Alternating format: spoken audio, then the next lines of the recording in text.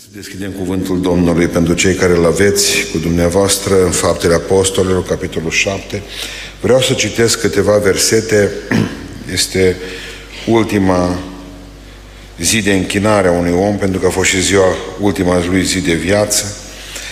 Să ne readucem puțin aminte cam ce însemna creștinismul atunci, cam ce înseamnă astăzi. Spune cuvântul Dumnezeu că ei au început, versetul 5-7, au început să răgnească și au stupat urechile și s-au năpustit toți într-un gând asupra lui Ștefan. L-au târât afară din cetate și l-au ucis cu pietre martori și un pus hainele la picioare unui tânăr numit Saul și aruncau cu pietre în Ștefan care se ruga și zicea Doamne Iisuse, primește Duhul meu. Apoi a îngenunchiat și a strigat cu glas tare, Doamne, nu le ținea în seamă păcatul acesta. Și după aceste vorbe a dormit. Amin? Reocupăm locurile.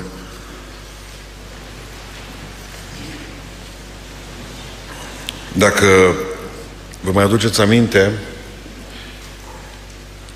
biserica a trecut prin 10 mari valori de persecuții până în anul 313, când din motive politice Constantin cel Mare a recunoscut nu numai biserica creștină ca fiind biserică a,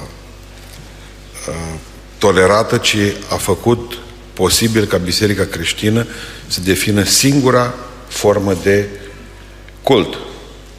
Astfel că nu au trebuit decât câțiva ani de zile ca biserica din biserică persecutată să ajungă biserică persecutoare. Pentru că să nu uităm că exact ce au făcut păgânii cu creștinii, au reușit performanță să facă creștinii cu păgânii, încercând să-L apere pe Dumnezeu ca și Dumnezeu ar trebui apărat de noi sau... Uh, am fost în uh, Germania, uh, în Augsburg, există acolo, într-un muzeu, am văzut aparat de deschis gura pentru împărtășanie. Avea un fel de din aia și dădeau la manetă, păgânii nu voiau să se împărtășească de fel. Și atunci îi împărtășeau, îi băgam în rai, nu vrei, las că te duc eu. Totdeauna creștinii au fost buni la inimă. Toți erau cu gura căscată. Nu despre asta vreau să vă spun, vreau să vă vorbesc despre faptul că după 313 lucrurile s-au schimbat. Eu cred că una dintre cele mai uh, frumoase zile ale bisericii au fost zile de persecuție, nu-s masochist să zic, Doamne, adu înapoi vremuri de persecuție. Ferească Dumnezeu să gândesc așa. Dar cred din toată inima că atunci, noi dacă ați băgat de seamă creștinii, nu, nu ne strângem împreună numai când ne apucă frica.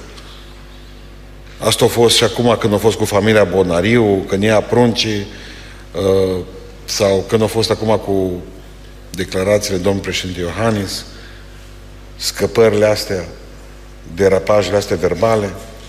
Uh, noi creștinii nu ne strângem împreună decât atunci când ne merge rău. Atunci Uităm și că suntem ortodoxi, catolici, pentecostali și baptiști.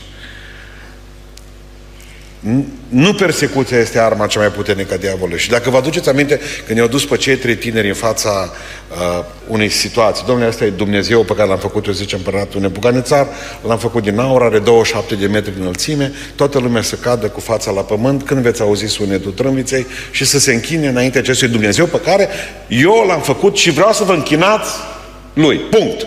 Eu vă dau de mâncare, eu vă dau viață, eu vă eu, acum dacă nu vă bag pe foc. Dar înainte de a zice asta, prima dată a încercat cu filozofia la ei să vină. Cum este Dumnezeu meu, Dumnezeu care ți-l bagă televiziunea pe gât, bagă partidele pe gât, Dumnezeu pe care îl bate societatea asta politic corect pe gât. Înainte de asta vine la, la mintea la tine. Și când vede că nu merge cu mintea, Chiar mă gândeam la biserica din Tesalonic, îi spune Sfântul Apostol Pavel, după ce în Efeseni vorbește despre uh, tot, tot, tot arsenalul de luptă a unui om, da? pe care, a unui soldat, e vorba de o luptă, aici la biserica din Tesalonic nu le spune că să-și apă în coifu și platoșa. Pentru că eu cred că marea noastră problemă de astăzi este, în primul rând, că trebuie ca să avem mintea asta sfințită și când vorbesc despre coif pe cap, nu mă gândesc la altceva decât să scăpăm o dată de îngrijorare, de stres, de frământări, de faptul că vine satana la tine și ce nu o să fii tu mântuit. Lasă că sunt alții, nu-i fi tu de cer. Și faptul că vine tot timpul la tine și spune că ești zero, un nimeni. nimeni. Nu? Păziți-vă mintea și păziți-vă inima. Astea două lucruri ne trebuie nouă ca și creștini. Și uh, spuneam că dacă văzut că nu merge cu filozofia, a încercat cu cultura, când veți auzi muzică. Deci mulți cad cu muzica asta. Că? Și vorbesc despre cultura acestei lumi. Ca și cum noi am fi toți niște proști. Pe undeva și n-am reușit performanța aceasta decât să copiem în ultimii ani. Pe undeva aproape că suntem, știți? De 25 de ani de la Revoluție încoace n-am văzut altceva decât biserică încercând să copieze modelele lumii, încercând să le adapteze la nevoile spirituale ale bisericii. Dar nu putem avea noi izvor de la ei. Adică avem în spate 2000 de ani în care biserica a înființat cele mai mari universități. Avem 2000 de ani când creștinismul a reușit performanța să facă cele mai frumoase clădiri din lume. În care am reușit să schimbăm istoria de atâtea ori și acum să venim din toată să copiem de la cine? De la triburi. Eu nu zic că n-au, n-avem șansă înaintea lui Dumnezeu și înaintea mântuirii toți. Dar a te duce și a lua modă din insulele Pago-Pago și a venit și spun că trebuie să trăim ca ea, eu cred că e o prostie. Scurt. Și aici nu e vorba de elitism, nici religios, nici cultural. E vorba de un lucru care e vizibil. Încă mai avem ce da noi creștini. Ea, vă rog frumos, nu vă mai cere scuze pentru absoluturi. Amin. Amin. Trebuie să schimbăm și politica, trebuie să o schimbăm și societatea, toate din temelii și cultura acestei lumi, pentru că am putea să o facem. Cu o, singur, cu o singură uh, condiție. Aceea de a ne ridica din creștinismul nominal, pentru că eu cred că după ce a urmat cuptorul de foc, nu există tehnica satanei mai mare decât să te, să te facă creștin cu numele. Dacă prima dată li s-a dat în Antiohia numele de creștin, apoi să știți că asta a fost cursă. Faptul că spune că cristianul sum, în limba latină, spune că seamănă cu Hristos. Și ne-am luat numele de creștin și ne l-am pus pe noi ca o plapumă, iarnă. Dragilor, eu nu cred că există arma diavolului decât să te întrebe cineva ce ești. Creștin, dar tu să nu fii creștin adevărat, ci să fii creștin cu numele doar. Nominal, așa se numește. E? Să vă explic cum e. Noi nu vorbim de lipsa asta de ortopraxism din România care ajunge, ortopraxism este frecventarea bisericii. Eu nu vorbesc despre lipsa aceasta de frecventarea bisericii, exact, care e aproape ca în Franța. Vreo 2% cred că avem înaintea francezilor. Undeva ortopraxismul românilor este de 10%. Adică 10% dintre cei care se numesc creștini se duc la biserică duminică dimineață. Duminică dimineață. Pentru că încă mai credem că adevărata putere a unei biserici stă în slujba de duminică dimineața. Când o biserică are slujba mai tare duminică, sare pe moarte. Biserica. Aia nu mai are mult. Aia e deja dusă în cap. Dar în momentul în care ne ducem la biserică, duminică dimineața, 10% din cei care ne numim creștini, bă, ce e vorba de aici? Nu vorbesc despre ortopraxism, vorbesc despre creștinismul cu numele. Din ce cauză? Ăia 10% să duc la biserică și cum să numesc ei? Creștini. Dar întrebarea este ăia la 90% care nu se duc la biserică. Dacă îi întreb tot duminică dimineața, cum să numesc? Ce zic? Cum să se numească? Jihadiști. Nu mă, tot creștini se numește. Dacă îi întreb, haideți să vedem patru tipuri de creștini nominali, adică cu numele. Poate că ne regăsim și veni la biserică. Există, se numește creștinismul reflexului condiționat. În 1936, Pavlov, un rus, a descoperit că tot comportamentul animalelor și a psihicului uman, de fapt, are de-a face cu reflexul condiționat sau cu automatismul, cum îi spunem cum eu. Îți formezi un ceas biologic în tine și știi că azi, miercuri, mă duc la biserică. Duminică dimineața mă duc la biserică, duminică seara mă duc la biserică. Așa am crescut, așa m-au educat părinții, așa, ca și câinii să duc la farfurie, știți? Se formează ceasul biologic și duminica e biserică. Duce să-ți bine dacă nu ești acolo, pentru că ți-o dereglat exact ca cum ai zbura în China. Domnule, ceva nu e în regulă. Nu ești la biserică. Te enervează și te mănâncă. Aia. Dar dacă stai și te gândești bine care este motivația pentru care faci lucrul acesta? Că tu te duci duminică de duminică la biserică, dar tu cu Hristos. Tu nu vorbești așa zua. Adică tu cu el nu... Dar duminică ești nelipsit. Dai mâna cu pastorul, pupi pe el de lângă tine. Când lipsești înseamnă că ai murit. Toată lumea deja se îmbracă negru sara. Se duc la priveti. Dar n-ai o relație cu Hristos. Asta se numește creștinismul reflexului condiționat. Aceeași bancă. Și de ce vă așezați pe aceleași locuri în biserică? Tot de la Pavlov. Pentru că de obișnuim. Pentru că, de fapt, suntem pe roata asta și ne învârtim. Nici nu mai știm dacă ne învârtim. Noi s-ar putea ca roata să ne învârtă singură. Noi să nu depunem eforturi. Se numește creștinismul reflexului condiționat.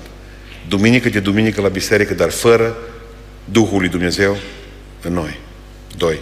Al doilea tip de creștinism se numește nominal, frecventează regulat biserica, dar nu pentru că au ceva de învățat, nu pentru lărgirea orizontului spiritual sau intelectual să ducă ăștia la biserică, nici din sentimentalism, ci uh, din motive de familie întregită.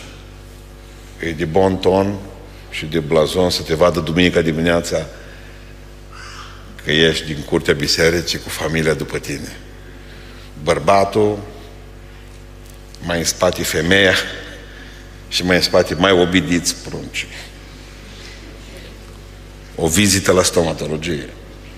Dar dă bine.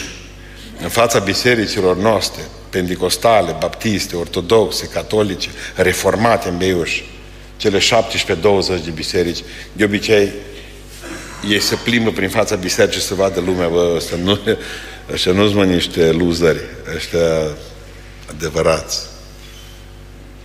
Ăștia sunt adevărați. Pentru că încă mai dă bine în societatea noastră, ce domnule, un om serios, că îl văd mărgând la biserică, dar pentru asta trebuie să faci cumva afară din biserică, se numește creștinism de blazon. Ă, fostul ă, nostru, mare istoric, Ion Dobrescu, spunea la un moment dat că ne ducem la biserică ca la o priveală. Era un fel de competiție atunci și cine se îmbracă cu cele mai tare haine, cine începe mielul de Paști, cine apucă locurile alea de lângă popă, de lângă altar. Sunt niște locuri mai sfinte decât alții.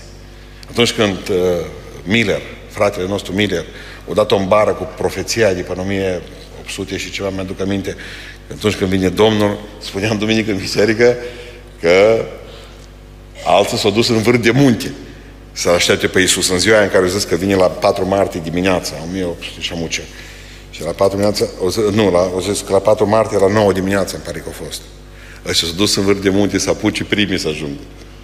Că dacă tu ești în vârf de munte până vine și ceva din vale, tu deja tu ai niște veșnicii, că le-ai rezolvat acolo sus. Alții s-au bulucit pe vârf de munte. Alții zice că s-au dus direct în cimitir. Că atunci când să-i apuci pe ăștia, pe neamuri, mă, pe cuscri, sau cine muri tata, mama, îi apuci de mână și mergi cu tot reuniți la cer.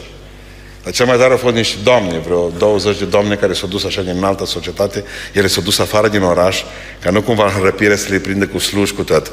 Adică să margă cu slujnică, cu aia care mătură. Au zis, domnule, noi societatea selectă doamnelor răpite puțin separată. Nu ne amestecăm cu prostime. Sunt faine chestiile astea, știi? Asta dovedesc de fapt că am ce am trăit noi în față. Spunea Dobrescu, noi când ne ducem, noi nu ascultăm predica preotului, ăsta era ortodox Dobrescu. Noi ascultăm predica Deci că ne uităm cine cu cine vine și cine cu ce e îmbrăcat. N-am văzut eu și la Paș, la noi la biserică, câteodată când vezi că cu ce vine, nu mai vezi toată câte câteva surori că ca în Nigeria. Nu, mai predică la alea. Nu m-am văzut ce, ce are. Încă mă bucur că e numai Crăciunul iarnă, dacă ar fi și Paștele.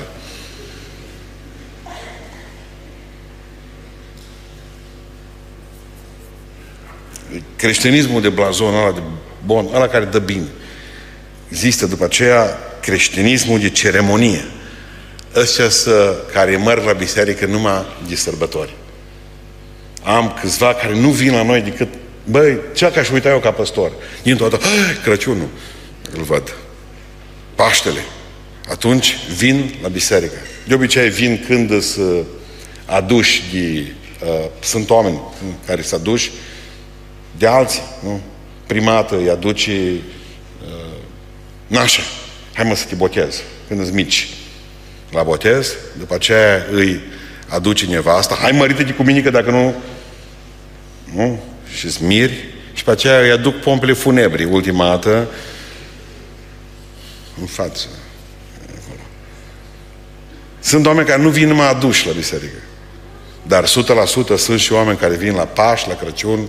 La noi, de exemplu, uh, mai sunt ăștia care vin la biserică numai când se dă câte ceva, câte, câte un parastas, se întâmplă ceva, câte o mâncare bună, să-și măr cu scobitoare în gură din casa Domnului. Am câțiva frați, am și o neamuri de ale mele, vă spun, din familia mea. Nu se duc la biserică numai când aud că este câte un botez. Totul tot știu, toate informațiile. Acolo zice că e sfințirea bisericii, târnosirea altarului, dincolo e uh, botez nou testamental. Ei la toate chefurile prind. Și la toate ies în față, ies în poză, uh, pe sticlă. Sunt oameni care se duc în biserici numai atunci când uh, când sărbători sau ceva, cum spuneam, ceremonii. Și există după aceea creștinismul patriotic. Ăsta e cel mai întâlnit la români. E creștinismul pentru care faci moarte de om. N-ai treabă cu Dumnezeu, n-ai treabă cu Duhul Sfânt, dar să nu cumva să se atingă cineva de religia ta. Și ce mi-a spus uh, un vecin meu care se ocupa de recensământ? O zis, mă, zice, să știi că zărește voi pocăiță, zărește voi.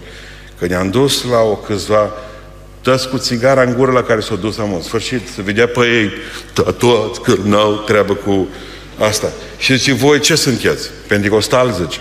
Voi! Cum să fiți pentecostal? Bă, ce scrie că te sparg dacă nu scrii pentecostal? Mama acolo se duce. Adică există, există, uh, cum să spun eu, creștinismul patriotic. Păi ești ortodox, bă, eu pentru credința mea lăsată, eu scot pușca, mă. Asta se numește un creștinism patriotic. Nu avem noi treabă cu Dumnezeu, cu Duhul Sfânt, cu bucurie, cu pace, cu sfințire, celelalte, dar să nu te atingi de religia noastră. Bine? Nu știm noi că n-a fost în viața noastră să ne spovedim, dar să nu vorbești de patriarh, mă. Dintr-o dată de sunt pentecostal. Am fost în... Când am fost la Cornetul? La Cornetul sunt vreo 5.000 de romi. Ne-am dus noi ziua în mare trebuia să instalăm aparatura pe stadion, căldură, microbuze după noi. Am văzut vreo, să fiu vreo 100, 200 câți erau în fața bufetului, fumau și beau pe bere. În momentul în care o parca mașinile cu cireșare acolo, dintr-o dată un cor de pace Domnului! Toți! Dar zic, mă mă gândesc că poate că s-au soi. Știi, nu știi că fiind de multe. Întreb pe primar, zic, dați mulți pentru toți sunt pentecostali din sat, zice. Că așa s-au scris, zice. Ei nu se scrie ortodox, căci că e rușine. Că există locuri în România, cum să te scrie ortodox? Mai bine mor decât mai bine tot. Da, da pentecostal. Toți sunt de lui Dani Mocanu. Iisus. Asta e creștinismul patriotic, așa se numește. Asta e creștinismul patriotic. Ce-au produs totuși mutațiile astea? Ce-au produs mutațiile astea? De unde am, de unde am devenit creștini în ăștia de nominali? Cel mai mare păcat, cel mai mare păcat îl are teologia liberală. Nu se insistă asupra ei, nu să vă spun cât de rău a făcut acest liberalism, așa cum spunea domnul Țuțea, în 92, când eram la școală la București și eram lângă spitalul dânsului, spitalul Sfânt Ioan, mai mergeam seara la dâns. Și ce ne spunea? Că teologia liberală o transforma bisericile noastre în grădiniță de copii. Asta e. Pentru că știți ce lipsește din biserica noastră? Comuniunea aceea cu Dumnezeu, adică tot am făcut ca să pierdem pe Dumnezeu din biserici. De la tot, de la amenajarea exterioară, interioară a bisericii, exterioară, de la felul în care ne-am... Uitați ce se vede și aici la noi. Adică am reușit să, să, să scoatem Dumnezeu afară, l-am băgat în becuri, în toate celelalte, în balustrăzi de inox. Dintr-o dată, uh, biserica seamănă cu mol. Și pierzi respectul față de divinitate. Prin arhitectură. Nu s-o gândi nimeni la că arhitectura are un rol. Cum să n-aibă, mai? Cum să n-aibă arhitectura rol spiritual? uh, au venit și au zis că, uitați, teologia liberală, au zis, Dumnezeu e oriunde, știu, știu. Dar să nu uitați un lucru. Dumnezeu are locuri speciale în care te întâlnești cu El, că de aceea a spus casa tatălui meu. Mă, voi aveți casele voastre. Dar au zis, El are o casă, tata. Știți care e casa tatălui meu? Asta. Am reușit performanța ca să o dăm Biblia în mâna oamenilor, dar nu le-am spus, aveți grijă că nu pe toți vă duce capul să o puteți interpreta. Când vedeți că aveți scăpări, scăpări la cutie de viteză a minții, duceți-vă mă și întrebați pe unul cum e. La noi suntem împărății de preoți. Toată lumea cercetează Biblia, că să nu uitați, a pune Biblia în mâna unui popor. E cuțit cu două tăișuri. Că nu trebuie mai mare necaz decât fiecare să o interpretează cum vrea el. Nu? Asta e teologia liberală, noi toți suntem împărății de preoți. Ne putem întâlni cu Dumnezeu oriunde o fi. Teologia liberală care până la urmă spune că e adevărat din Biblie numai ce consideri tu e adevărat. Oare? Pentru că de a, de a zice că e adevărat numai ce îți place din Biblie, mai este un pas. Un pas. Domnule, zice, nu cred că, uite, nu, nu simt. Teologia liberală nu face așa decât să simtă lucrurile. Asta e periculos. Știți cum îl pierdem pe Dumnezeu? Cum spunea un profesor, uh, spunea la un moment dat, nu știu să fi avut un moment în care să fi renunțat la credință. Că nu renunț la credință, nu semnez. Uite, eu stan pățitul începând de astăzi, renunț la credința în Dumnezeu. Asta mai rar se întâmplă. Dar zicea el, nu știu să fi fost o zi în care să fi renunțat eu la credință, zice el, dar s-a întâmplat ca și cum aș fi pus-o într-un dulap și când am căutat, tot dulapul era gol. Înțelegeți? În Biblie nu zice că am ceva că ți-ai pierdut dragostea din tâi. Ci v-am spus și o să vă spun tot timpul, voi nu vă puteți pierde dragostea din tâi sau credința. Bă, dar pe unde mi credința? La cifu. Ca eu, de trei zile nu mi-am mai găsit portofelul. Nu că era cinci și bani, că nu era nimic. Dar era permisul. Și numai eu știu cât am luptat să-l recuperez. De câte ori l-am sărutat. De câte ori mi l-au luat. Buletinul ca buletinul, că nu te frămânți. Poți să-i duci și cu pașaport. Dar permisul? Să nu te atingi de permisul românului. Știți unde am găsit? În primul rând am visat, fac o paranteză, când mi-am găsit uh, mi-am găsit portofelul. Zic că nevastă mea, azi o să găsesc portofelul că m-am visat. Era nouă și jumătate seara și nu s-a împlinit visul. Ca să-l împlinesc, am întors toată casa invers. Am întors și birourile și tot. Să se împlinească visul. Zice nevastă mea, cred că e numai visuri. Sunt numai visuri. Nu se mai împlinesc. S-o împlinit la 10 fără un sfert. Știți unde era? Uitați-vă în ochii mei. Sub Biblie. N-am luat-o două zile și Dumnezeu m-a bătut. N-am mai citit-o dimineața. Am citit-o numai la birou, pe tu predică, să am predici șmechere. Și n-am mai citit-o pentru mine și o zis, Domnul, nu-i nimic, lasă că stă portofelul și vremea aceea care trebuia să o ai la cititul Bibliei, o să-ți întorci casa. Toate dulapurile mi le-am goslit, toate hainele le-am căutat, toate buzunarele. Știu deja tot ce... Am vrut să și zugrăvesc cu ocazia asta. Dumnezeu e drept. Dumnezeu e drept. Nu o să citiți Biblia că nu aveți vreme. Lasă că vă rezolvă Dumnezeu în așa fel vremea încât timpul ăla tot se duce. Cu ce, cu ce necazuri? Asta nu se poate spune. Asta a fost o paranteză cu cititul Bibliei, cum cred că ați înțeles. Deci primul lucru pentru care noi am ajuns creștini nominali teologia liberală. Teologie liberală care de fapt e un prăpăd. Doilea lucru a fost pierderea scopului. Care este scopul principal al bisericii? Pentru ce, pentru ce suntem noi creștini? Eu aud mereu, să mergem în cer. Fals! Dacă tu te pocăiești să schimbi de țigări, să schimbi de fironda și de nu știu mai ce, de ciroză, să nu faci ciroză, dacă tu te pocăiești pentru că maica ta a fost pocăită, dacă tu te pocăiești să ajungi în cer, tu te-ai ratat. Pentru că creștinismul spune că se întemeiază pe o trimitere, nu pe o mântuire. Pentru că o mântuire fără trimitere nu-și are sens. Știți cum se semnează unii? Salvat pentru a sluji. De la americani. În momentul în care Dumnezeu te-a scos de undeva, fără ca tu să înțelegi că e scos cu un scop, ca la rândul tău să agați pe altul, tu te-ai pierdut ca scop și te așteaptă depresia, nenorocirea și o viață goală. Mă auzi ce zic în seara asta? Când biserica și-a pierdut scopul, când noi ne-am pierdut scopul, noi devenim creștini nominal.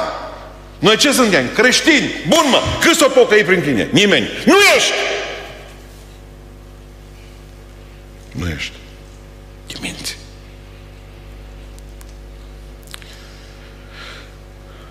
Până acum am predicat că în fața Dumnezeu vom sta singuri. Nu e adevărat. Vom fi perechi. Tu cu cine și cine să mai pocăi prin tine. Perechi vom fi. Sau nu vom fi. Sau va zice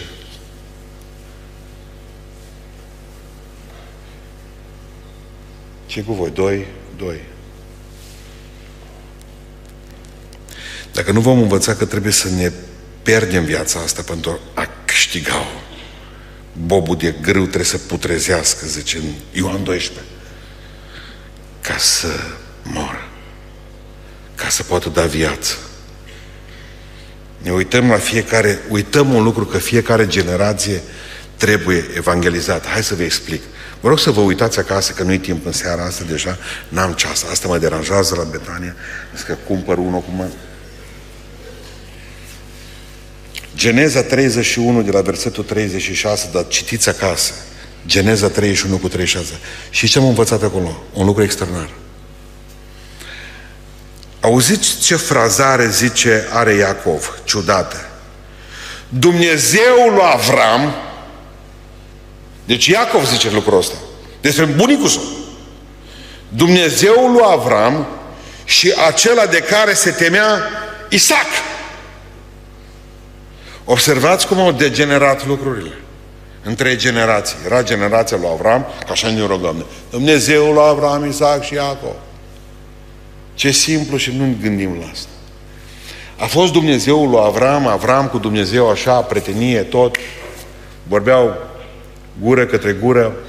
Dumnezeu, când făcea Avram câte o greșeală, erau, erau lipiți, organic. Dumnezeu de Avram. Dintr-o dată, pentru fiul lui Avram, pentru Isaac, Dumnezeu devine secundar. El nu mai zice Dumnezeu meu. Avram zicea Dumnezeu meu. Isaac își permite să zică, dacă citiți cu atenție, Dumnezeu tatălui meu. Observați diferența și distanța dintr-o dată. Păi dacă Isaac zice Dumnezeu tatălui meu, și ce a zis Iacov? Dumnezeul lui Avram și Dumnezeul acela zice care, de care se temea Isaac. Prima generație îl urmează pe Dumnezeu din dragoste. A doua generație îl urmează pe Dumnezeu de frică. Până la 18 ani te bate taică tot de nu te vezi bine, nu vii la biserică. Îți rămân sechele și la 40 de ani te mai pocăiești și după ce o murit taică tot și mai ta încă mai există izvorul ăsta pocăinței, mă, filonul, plângi, îți aduce aminte în sfârșit. Dar dacă tu vii doar din teamă și nu de dragoste pentru Dumnezeu, pruncii tăi nu să aibă nici o relație cu Dumnezeu. Fiecare generație pierde câte ceva. Și există o generație care nu va mai avea de pierdut nimic. că ei nu mi-au pe Dumnezeu. Ce să bea? Deci, există părinții care vin din dragoste, există pruncii care vin, copiii care vin din respect față de părinți și există nepoți care nu mai vin de fel pentru că îi doare în bască de moș și de tată. Înțeles? Creștinismul este la atâta, atâta, la, la o generație pe cale de dispariție. Nici dinozaurii n-au perit mai rapid decât poate peri creștinismul dacă noi nu evangelizăm. Dacă noi nu spunem la, alt, la alții despre Isus Hristos. A treia cauză a creștinismului nominal este structura ierarhică, stufoasă și fără discernământ. Structură ierarhică. Să vă explic cum e. Știind de la bun început că fiecare biserică are popă și pe lângă popă sunt cantori sau disc jockey, cum se numesc ea, ce sunt acolo, e clar treaba că există câțiva care fac o lucrare, dar ceilalți sunt iubiții noștri ascultători. Creștinii nominali ies din biserici în care oamenii nu sunt motivați la slujire toți. Mă, hai că și pentru tine este loc, hai fă și tu ceva, că și pentru tine este loc și aici este loc. Că zice, pastore, nu cumva este un fel de activism. Nu. Că în momentul acela activist, când pui pe același om să facă o grămadă de lucruri până când îi sar capacele, dar în momentul în care fiecare om din biserică e implicat în ceva, omul ăla nu mai poate să devină un creștin nominal pentru care de lucru se simte important în biserica aceea. Îi pune mâna la căruța mântuirii împreună cu ceilalți, umărul o pune acolo și știe că pruncul lui trebuie să-l învețe pe el, ceea ce vă spune să-i data trecută, când din, din, din bunicul Hur, beța la el, devine, nepotul Bețalel devine cel mai mare meșter a Vechiului Testament. Din bunicul Hur, slujitor și ăla. Pentru că pruncii fac ce văd la noi. Dacă pruncii zic, hai să mă cu biserică cu tot, popă cu tot, hai să mă cu... Lasă-mă cu profesor cu tot, cu învățător cu tot și cu... Pentru că există și mame care zic, lasă-mă cu tată tot cu tot. tu să vedeți. Parcă e taraful de la Clejani, ca să noi atunci. Biserica e paralizată în momentul în care câțiva reușesc performanța doar să muncească și ceilalți Mie îmi place la tenis, dacă ați văzut, cât îți de liniștiți. Neț. Out. Așa și biserici. Ce mai faci? Greșită e. Știu că greșit. Nu vrei să vii și tu să cânti puțin. Ca să avem și noi de cine distra. Că numai cine nu lucrează nu greșește. A reușit performanța ca o altă cauză creștinismul nominal să fie structura, uh, formele inflexibile și irelevante. Forme inflexibile și irelevante. Adică cum? Aceleași liturghii, aceleași șabloane, aceleași... Toată lumea știe ce urmează acum și când urmează. Uh, nu ne putem surprinde cu nimic. Numai să te trezești toată că prima dată cântăm, să te duci la noi și să... Eu nu vă spun ce asigurări o trebuie să le dau la Beiuș prima dată când am trebuit să mutăm slujba de la 9 la 9 și jumătate. Le-am spus că nu există biserică normală la cap în România, N-are, nu există în România, vă rog să-mi arătați, care să poată avea slujbă, nu program. Că program, pe, pe, pe, cântă Viorica cu Măreara. Bun, asta știu oricine. Eu vorbesc de slujbă duhovnicească, nu programe cum au bisericii noastre. Nu există biserică în România care să poată să ducă trei ore. Nu există. N-ai cum. Deci dacă nu reușești să te bagi într-un automatism din ăla în care dă îndemn de ori, de cântă Mărioara cu Viorica și toate celelalte lucruri, și balconul și ăștia îl butonează, toți pe telefoane. Binecuvântate biserica cu Wi-Fi. Și toată lumea stă acolo liniștiți, n-au treabă, pentru că toată lumea știe ce urmează. Și diavolul știe ce urmează. Știe că de la 11 și 5, după obiceiul mezilor și percelor care e scris acolo, Am fost într-o biserică 17 puncte de program o zăscare. Erau amărâți vreo 500 de oameni în picioare, stăteau înghesuiți acolo. 1000 în sală, 500 pe trepți. Și ei aveau 17 puncte de program. Neapărat trebuia ca să cânti, toate fetele să le poată mărita odată, neapărat trebuia religia băgării în seamă la noi. Ați auzit de religia băgării în seamă? Să-l bagi în seamă și pe ăla, să-l bagi înseamnă să crească corni și la aia, și la, la, la tot să-i băgăm pe toți în seamă. Toți sunt împărățit de preoți aici, toți trebuie să vină să-și dea cu presupusul, acolo trebuie să cânti toată lumea, și cine are har, și cine nu are har. Ca așa e la noi. E bine, asta o să vă ducă oamenii din biserici. Până la urmă o să ajungă biserica e goală. Pentru că nu mai reziști. Pentru că tu nu vii la cântarea României, tu vii să te întâlnești cu Dumnezeu.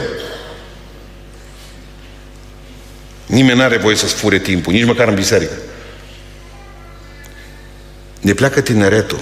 Știți de ce ne pleacă tineretul din biserici? Tinerii pleacă din biserici din mai multe motive, dar unul dintre motive i-am întrebat pentru că au nevoie de modele în viață și nominale. Creștinul nominal nu e model pentru ei. Tinerii nu merge, mă, uitați-vă la Domnul Iisus Hristos. Vor să vadă ceva acolo. Ce le-am arătat în anii ăștia, în afară din niște costume țepene de ciocli? Și ce am făcut pentru ei? Am zis ca să aibă tinerii, domnule, dă-le tobe. Bagă-le tobe în biserică. Ce mai vreți, mă? de camere de loc. Ce vreți voi în biserică vă dăm? Știți cine primește tot ce, ce vrea? De obicei. Copiii din familii divorțate. Când tata are amant, atunci de obicei cumpără la prunci de toate.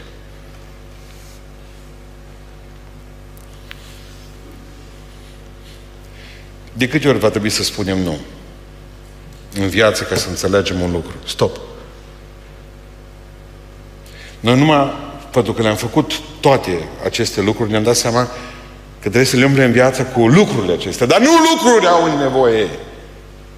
Au nevoie de modele în viață. Ca la armata israeliană, veniți după mine. Pentru că tinerii de astăzi, tinerii de astăzi nu mai vin la biserică, pentru că au nevoie de răspunsuri. Și aici nu le primesc. Au nevoie de răspunsuri. De ce să nu mă culc cu asta înainte de nuntă? Noi spunem numai cartonaj roșu. Scrie în Biblie. Îi trebuie să-i dai o grămadă de răspunsuri. Mai sunt, mai este viață pe alte planete. Trebuie să-i dai răspuns. Ei Dumnezeu acum în casă la mine când tata a plecat de acasă și ne-a lăsat cu mama singur, trei băieți. Mai există Dumnezeu. Colegul meu, dacă Dumnezeu e bun, are cancer, are 18 ani, sunt, e tu un zero deja, picat părul de pe cap. Dumnezeu e bun. Au nevoie de răspunsuri și noi ne-am ferit să le dăm răspunsuri.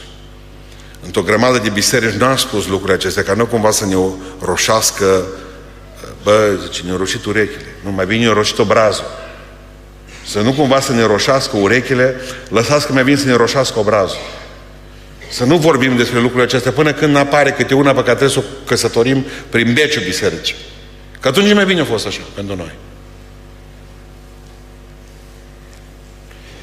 Știți de ce nu vin tinerii la biserică?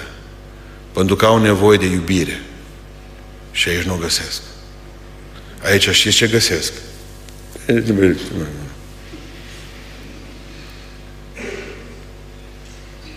Au nevoie de cineva care să le pună mâna după cap să zică ce mai faci? Cum o duci? Au nevoie ca pastorul să-i pupe pe aici, pe jos, pe sală. Să lase nenorocitul de costum, că parcă toți agenții imobiliari, când îi văd, nici că vin să-ți vândă bucăți din cermă. Marele concurs de Black Friday – nu luați cer acum vinerea. Au nevoie de, de iubire. Au nevoie să creadă că cineva iubește. Și spune, îmi pasă de tine. Îmi pasă de tine.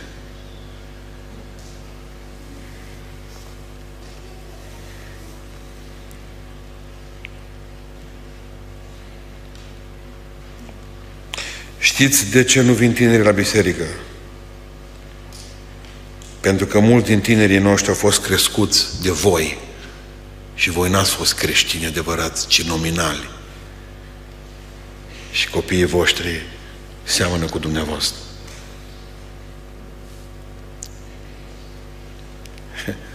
Vreau să închei tot un ton frumos. Cât a citit aventurile lui Tom Sawyer, al lui Mark Twain? Ridicați mâna sus. Cred că data viitoare facem schimbul, să cobor balconul aici în sală. Mai țineți minte un pasaj din carte. Duminică dimineața se duceau la biserică. Scrisă deci evenimente de 100 și vreo 50 de ani. Haideți să vedem cum își petreceau în biserici în urmă cu 150 de ani. Zice așa, parohia, parohia fiind adunată, clopotul mai dângăni odată pentru a dojeni pe cei zăbavnici și pe cei abătuți din cale, apoi se lăsă peste întreaga biserică o liniște solemnă, întreruptă doar de chi, uh, chicotelile și șoaptele corului. Corul întotdeauna chicotea și șoptea în timpul slujbei. Am văzut odată un cor bisericesc care se purta cum se cade, dar nu mai știu unde. Parcă într-o țară străină era. O ce părere are despre cor acum. Tom sta liniștit fără să asculte. Ți-au auzit de ăștia din biserici. Tom sta liniștit, dar fără să asculte.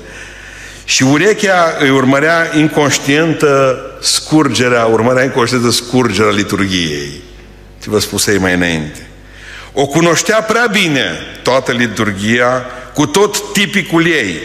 Când se întâmpla ca preotul să adauge vreun cuvințel cât mai neînsemnat, își dădea seama îndată și se încrunta.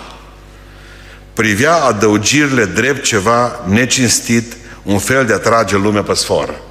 Trebuia să fie totul după tipic și șablon. Preotul anunță tema predicii. Glasul lui monoton bâzâia ca un bondar, depănă un subiect atât de searbăt încât multe capete începură a picoti, deși în predică era vorba despre focul veșnic și despre pucios.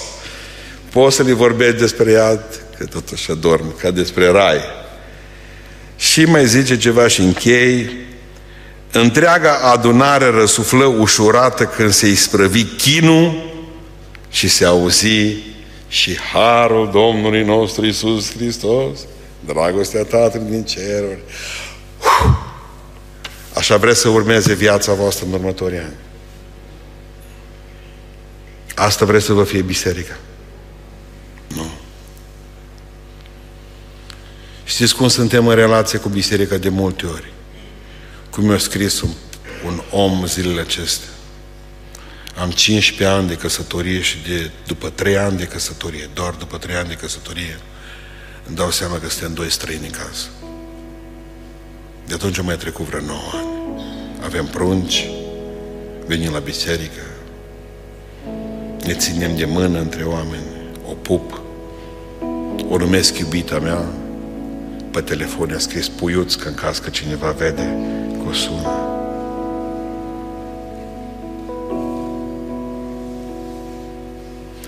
Știți, zice, tânăr și sănătos. Teoretic mai avem împreună de trăit vreo 40, 20, 35 de ani. Tot așa. Noapte bună, prieteni. M-a spus o poveste despre creștinii cu numele. Pare foarte rău că nu avem tricouri să ne scriem baptist, ortodox, să știe lumea cu cine are de face. Ce e de făcut? Este un singur drum, scurt, ca Dumnezeu Tatălui meu să devină Dumnezeu meu. Poate că l-ai pierdut pe tata pe drum pe undeva. Dar astăzi trebuie să te întorci acasă. mai este loc și pentru tine. Mai este loc și pentru tine. Haideți să ne ridicăm în picioare. Se face seară și seară în lume. E foarte multă seară și multă noapte în lumea aceasta. Te rog în această seară, Doamne, nu ne lăsa să fim creștini de formă. Nu ne lăsa, Doamne, să te sărutăm ca Iuda. Pentru că și Iuda era numărat printre apostoli. Și te-a sărutat. Dar nu te-a sărutat de drag. Nu ne lăsa să ne plictisim și să venim prin biserici numai ca să vedem fete sau să vedem ca așa la modă sau să stăm undeva și noi miercuri seara. Vreau să venim din dragoste. Toți care suntem în seara aceasta, Doamne, în Betania, facem legământ că o să venim de aici încolo numai din dragoste pentru Tine. Și o să venim de aici încolo la casa Ta pentru că Te iubim și vrem să ne întâlnim cu Tine. Vreau să ne rugăm cu toții Domnului să spunem în seara aceasta, Doamne, vreau să fiu un creștin bun, adevărat. Nu vreau să mă duc la biserică doar când sunt evenimente, nu vreau să mă duc la biserică doar că dă bine, nu vreau să mă duc la biserică, Doamne, pentru că așa am obișnuit. Vreau să mă duc să vin la casa Ta și vreau să fiu un creștin adevărat. Pentru că știu, Doamne, că Tu ai murit pentru mine și ai înviat pentru mine. Și vreau să Te iubesc cu toată ființa mea. Și îmi dau seama că despărțit de Tine nu pot să fac nimic. Te rog în seara aceasta, atinge-te de mine, Doamne. Haideți toată biserica să ne rugăm Domnului. Amin. Îți mulțumesc, Doamne.